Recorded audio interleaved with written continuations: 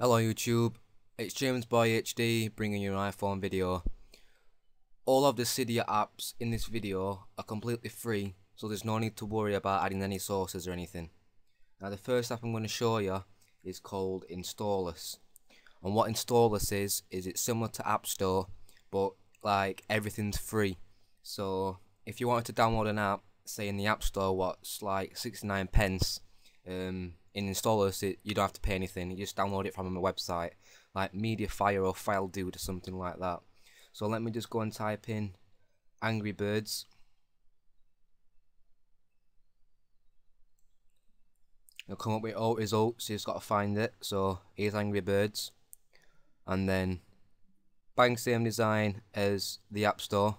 Tells you the price at the bottom, the size of the file, and um, shows you pictures of what the app contains. Um, then you just hit this download button, and then these are the um, websites you can get it from. Now, I'm not downloading it just to save time, but I've downloaded voice actions um, similar to Siri. And once you've downloaded your app, um, if you just click it and click install, it'll install, um, and then you'll have it on your springboard.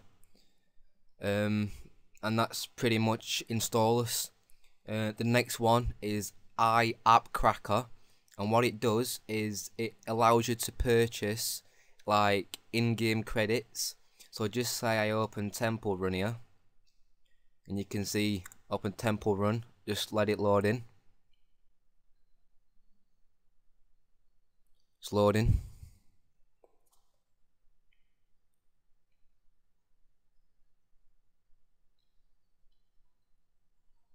Now if I click over to the store, you'll see that I have like 3 million coins. And this is because when you click get more coins, um, you have to purchase the coins. Whereas it, where if you download iAppCracker then you can purchase it and it doesn't go to iTunes or anything. It just purchases the content that you clicked. Um, the the source will be in description so don't worry about that. Um, just let this loading really quickly. Internet's running quite slow today.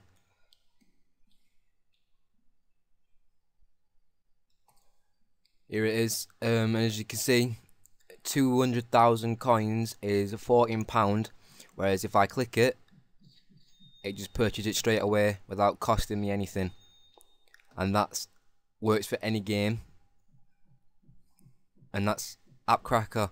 Um, and the final app, and I'm not sure anybody, I'm, I don't know anybody that doesn't have this on a jailbroken iPhone because it's really useful and it's called SBSettings. And what it is is it allows you to like it's like if you want to enable 3G or Bluetooth or anything like that without going into settings and like oh anything like that it's the fast way on how to disable stuff. And the process is here um, you can see what you've opened recently, like how much memory you've got left, and just say you deleted some of these, like this, and then click free up the memory. You can see that I have 156 megabytes left. Once it's freed up, that will shoot up, and it'll make my battery life last longer. Um, it'll make my phone faster. And you can you can see these options at bottom: power, respring, dock, refresh, and more um, these are really useful because if you want to just reboot your phone, you don't have to turn off your phone first. You can uh, put in safe mode, lock it, reboot, um, respring, that just resprings your springboard. Um, the refresh, if you find your iPhone's run running quite slow, then if you click refresh, it kind of speeds everything back up for you. Um, the more button, it um, opens the settings on your springboard and then you can toggle everything in here. Like the theme you're using I'm using Sirius SB settings HD um, and if you click the little blue arrow you can see what the theme actually looks like. And that's it. Um, thanks for watching my video. I hope you subscribe because there'll be more coming. Thanks